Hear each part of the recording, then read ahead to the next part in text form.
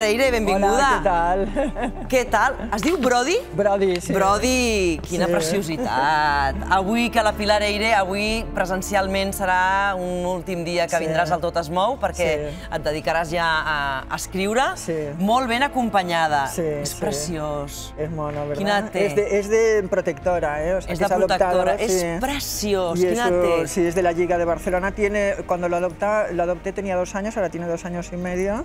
Y es de- viene de Córdoba. En Córdoba no sacrifican, sa- eh, sacrifican a los animales, entonces los envían aquí a Cataluña porque aquí es eh, sacrificio cero. Y nada, no estuvo ni 15 días en la, en la Liga, que ya lo fui a adoptar. El vas y ya me lo adoptar. quedé. Sí. I a més a més m'han dit, és es molt tranquil·let bueno. com s'està veient. Sí, sí, Ah, doncs sí. mira, el pots portar Bueno, sempre, se cree, se cree el pots portar sempre que vulguis. Claro, es que eh? se cree que es una estrella, se cree que es el És una estrella, és una estrella, i tant que és sí. una estrella. Escolta, uh, Froilán, que ha trobat feina. Bueno, a ver, es que hay muchas contradicciones con el trabajo de Froilán. Lo que pasa siempre, hablamos siempre de que la princesa Leonor es tan misteriosa, pero es que misteriosos son todos los miembros de la familia real, porque de- el niño este Marichalar decían que estaba trabajando en una petrolera, que tenía un sueldazo eh, de 7.000 euros al mes, que lo había enchufado el Ay, padre, que tenía un apartamento increíble, y ahora parece ser que es simplemente una pieza, una pequeña pieza en el engranaje de la organización de, mm, de, mm, una organización, un- una conferencia sobre cambio climático Sí. que va a tener lugar el día 30 de noviembre en Abu Dhabi y que esto de 7.000 euros y de apartamento. Per tant, és una feina nada. puntual Un, sí, un i- trabajo i, puntual. Tampoco i sabemos acotada que, en el temps. Vull tampoco que... sabemos que ha estudiado, porque claro, nuestra visión del pobre chico este es que siempre está de de discoteca fiestas, y siempre sí. de fiestas y siempre metiéndose en follones.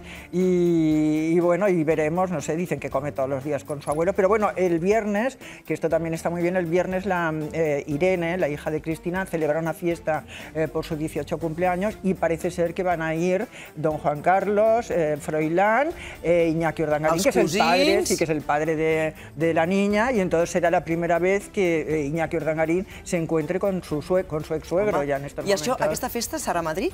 No, será en Suiza, en donde vive, en Ginebra, donde vive la infanta. Es una fiesta a la que va a ir toda la familia, va a ir la abuela Sofía, eh, y veremos si van a ir las eh, Leonor y, y Sofía, las infantas, si van a ir, quién va a ir. Qui Bueno, anirà i que qui no decir anirà? Això serà aquest sí, divendres. será- Ah, será- per cert, que Letícia ha estat a Colòmbia. Sí, bueno, Leticia, mira, es curioso porque aquí que este es un tema muy polémico porque hoy, en estos momentos, yo creo, está visitando un cafetal en Cali, un cafetal que está a cargo de exmiembros de la FARC, de las FARC, que sabéis que son las eh, fuerzas eh, Sí, sí. durante mucho tiempo, bueno, sembraron el terror y en, en todo Colombia y son em, guerrilleros que, que, bueno, que estuvieron actuando durante mucho tiempo. Entonces hay unos que se han, eh, bueno, que se han rehabilitado y que han puesto este cafetal y, y Leticia ahora lo está visitando. A mí me gustaría que mm, pensar que pensáramos que ocurriera esto aquí en España y lo que pasaría, ¿no? Las voces que habrían, eh, que habrían contra esto.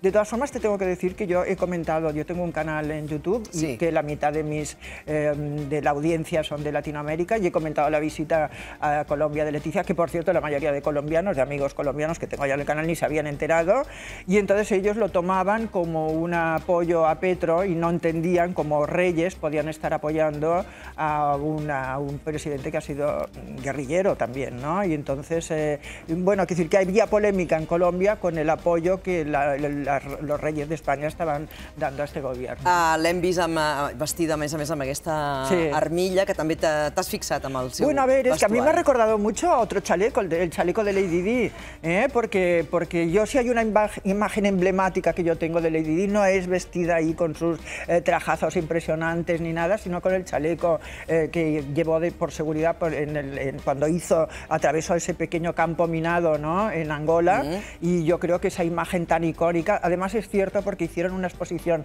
de trajes de Lady Di en Kensington y el traje que más visitaba la gente Era y con la- el que se hacían todas las fotografías era el chaleco que llevaba Lady Di de seguridad. Y entonces a mí el chaleco este que lleva eh, Leticia, eh, que es de cooperante, ¿no? este eh, chaleco rojo, a mí me parece el traje más bonito. Yo- O sea, yo no la he visto nunca más guapa a Leticia que con este eh, chaleco. A mí si hubiera una fotografía oficial eh, de Leticia no me gustaría con corona, con tiara, esta cosa tan siglo XIX. Me gustaría verla en esta, de esto con este eh, chaleco de A mi m'ha recordat, i, i ara potser em falla la memòria, però quan ella treballava de periodista a Televisió Espanyola i feia les cròniques des de, crec que era des de l'Iraq. Sí. que anava amb l'armilla, Es verdad, doncs eh, también, m'ha sí. recordat justament aquella, Sí, sí, sí, aquella sí. imatge de quan l'havíem bueno, vist de hace- periodista. eh, ella empezó a llevar este chaleco, primero el primer viaje que hizo como cooperante, creo que este es el octavo, el primer viaje tuvo críticas eh, porque llevaba un vestido de la ME, bueno, iba como un poco inadecuada y entonces la criticaron. Y hace eh, como tres o cuatro viajes ya decidió llevar este chaleco siempre, incluso en las recepciones oficiales.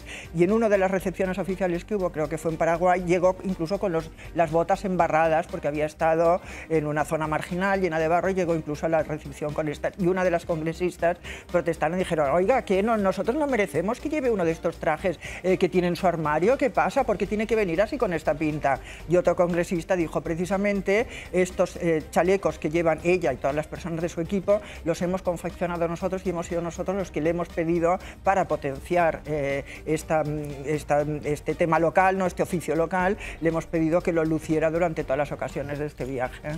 Uh, per cert, que com que és... Uh... Ahora parece que estoy defendiendo a Leticia, ya sé que me vas a decir, ay, mira, pues oye, que cortesana, No, però que estem a la recta final ja també de, de la temporada, pràcticament, perquè ja estem a, al mes de juny. Eh, aquest estiu serà novament un estiu, entenc que al Palau de Marivent a, a Palma de Mallorca. Sí, eh, bueno, veremos, Després també sí. els Reis normalment fan un, un viatge més privat. Bueno, com, com será- preveus que serà aquest estiu reial? Hombre, a ver, será el último viaje en el que participará toda la familia al completo, porque luego eh, Sofía se va a Gales, ¿no? de- al internado, y luego Leonor, pues en- en- creo que es el 28 o el 27 de agosto, ya entra en la Academia de Zaragoza. Y luego es, es, mm, es, eh, mayor de edad. ¿eh? A nosotros, eh, bueno, no sé, revelo quizá algo que no tendría que hacerlo, pero eh, la semana pasada, bueno, hace un par de semanas... ay, no sé A veure, va, aprofita que és l'últim dia, home, Sí, bueno, clar que sí, avui no, no hace- et quedis res a dins. Hace un par de semanas eh, Casa Real se puso en contacto con medios de comunicación eh, con una nota amable ¿no? y cariñosa y simpática, pero recordándonos que la infanta Leo- perdona, que la princesa de Asturias, que Leonor es todavía menor de edad y que había ciertos temas acerca de sus noviazgos o de sus ligues o de los novios, posibles novios, eh, que estaban protegidos, no, no, no porque hubiera censura porque fuera princesa de Asturias, sino estaban protegidos, eh, protegida por la ley porque todavía era menor, Es de menor. edad y no se podía hablar. Pero bueno, cuando cumpla, cuando el 30 de octubre cumpla 18 años, creo que... ser- la veda, vols dir Eh, que- Creo que protagonizará muchas portadas ella y sus, pre- sus novios presuntos, supuestos o reales y reales. Yo És a dir, que és l'últim estiu que estaran tots junts. que estarán juntos y con una relativa privacidad, ¿eh? porque luego realmente la tutela de la hija mayor pasará al gobierno. O sea, es decir, ya no la tendrán los padres a partir de los 18 años, ella dependerá del gobierno y será el gobierno el que consensuará todo, desde las vacaciones, su tiempo libre, sus actividades, o sea que realmente su vida, su privacidad eh, será el último verano de la que podrán I tu creus que disfrutarla. notarem molts canvis? El fet de que sigui el govern qui controla, té la tutela de, Bueno, de la nena? También depende del gobierno que sea, porque claro, también pensemos que hay... Ha eleccions el que hay 23 de juliol, elecciones y efectivament. también eh, sabemos que el gobierno socialista se ha distinguido siempre por su protección férrea de la familia real, ¿no? Y veremos, eh, bueno, no sab- no sabemos qué gobierno va a haber, o sea que veremos lo que Ho pasa. comentarem, ho Sí. comentarem. Escolta, per cert, que te'n vas a escriure. Bueno, eh, Què ens pots avançar? Bueno, a ver, eh, en septiembre, el 20 de septiembre, va a salir mi libro nuevo que se llama De amor y de guerra.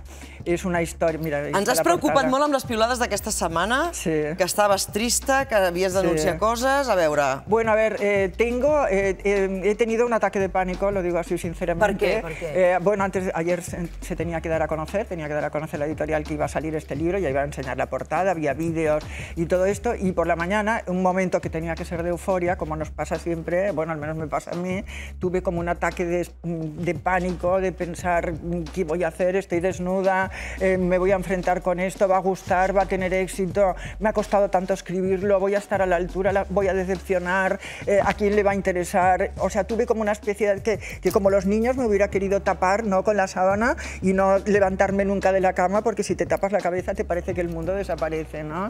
això et passa amb tots els llibres en el moment en què els Ostras, entregues? no sé, jo en el moment en què s'estan a punt de publicar? Yo no sé, pero a mí me pasa cada vez peor. Y Entonces tuve un ataque de llanto que no me lo podía expli- explicar por la mañana, lo anunciaban a las 12, ¿no? Sí. Pues por la mañana tuve un ataque de llanto impresionante, no podía parar de llorar, estaba sola en Ai, casa. pobra. Eh, me, me- Ens haguessis trucat, hauries vingut aquí amb nosaltres i t'haguéssim Pues animat. no, pues la Pilar, verdad es que es, es una historia muy bonita, yo creo. Es, el libro empieza con cuatro amigos eh, que se van a la frontera cuando termina la guerra civil. Eh, son, han vivido una tragedia horrorosa, pero son jóvenes, bromean, eh, el conductor es el protagonista del libro, es el único que está casado, ha dejado a su mujer en Barcelona, su mujer es de una familia eh, de derechas, está embarazada, entonces se separan, él se va al exilio y en la frontera le sucede un, un suceso terrible que cambia su vida para siempre. Y lo que les pasa a todos ellos es el, el argumento de mi novela. Es una mm, historia de fraternidad, sobre todo de amistad, de amor, de passió, de segundes oportunitats. Que bé, que bé, que bé. Quines Pues, ganes de llegir-la, sí, escolta. Espero que podamos hablar d'ella. Pilar, doncs anirem parlant, Vale. ni que sigui des de la distància. Exacte. Brody, t'has portat molt bé, eh? El pots portar sempre que vulguis. Sí, bueno, Es bien, un- fenomenal. Pues aquí estaremos. És un amor.